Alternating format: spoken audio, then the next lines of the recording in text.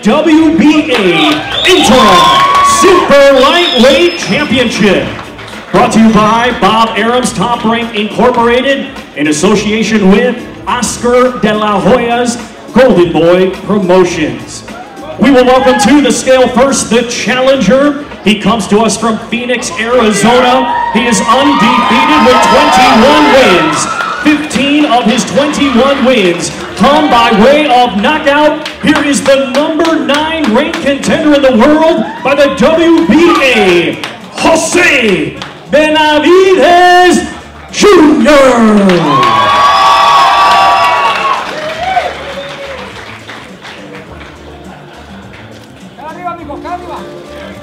138 and a half. Next to the scale, the defending champion from Riverside, California. His professional record, 21 wins, 4 defeats, with 7 wins coming by way of knockout. Here is the reigning and defending WBA Interim Super Lightweight Champion, Mauricio El Maestro.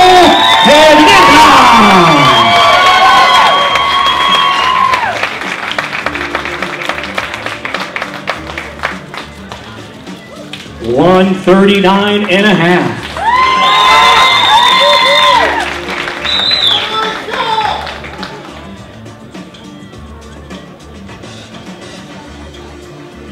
Main event next. Are we ready? Are we ready for the main event to get on the scale? Any, any Timothy Bradley fans here?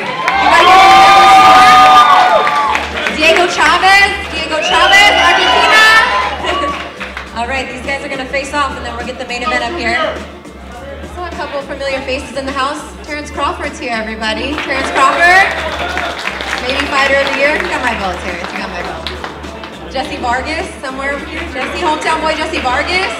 Great fight in Macau.